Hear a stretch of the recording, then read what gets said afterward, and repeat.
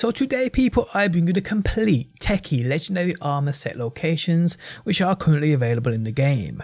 How's it going guys, my name's DPJ and if you enjoyed this video leaving a like really helps out and if you like what you see and want to see more cyberpunk on a daily basis be sure to subscribe. Okay so there are 5 here in total but there should be 6. The sixth being the outer torso techie harness, which you can see on screen now. Now though this is in the game files, I do believe it's bugged and can't be found anywhere in the game currently. This will be fixed in a future no doubt, and when it does become available I will link a video at the top of the video description to where it is in the game. A couple of things to know about these 5 legendaries, you can reroll the items to get better stats and maximum mod slots maximum mod slots per item you can see on screen now. You can do this by saving the game before picking the item up and just keep reloading that save until you get what you need. Or you can just run 50 meters away from the item, come back, this also resets the item's stats. But yeah guys, I will leave you now to see how these are obtained and their locations on the map. If you enjoyed the video, leaving a like really helps out. If you're new around here and want to see more Cyberpunk on a daily basis, be sure to subscribe. And hopefully people, I will see you on the next one.